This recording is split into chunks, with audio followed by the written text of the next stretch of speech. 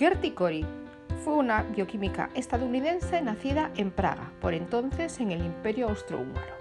Se convirtió en la tercera mujer en el mundo y primera en Estados Unidos en ganar un premio Nobel en ciencias, y la primera mujer a nivel mundial en ser galardonada con el Premio Nobel de Fisiología o Medicina.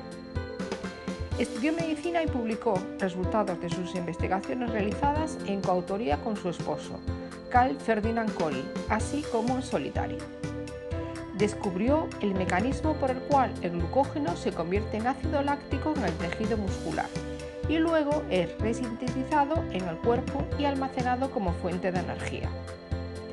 También identificaron el importante compuesto catalizador llamado éster de Cori.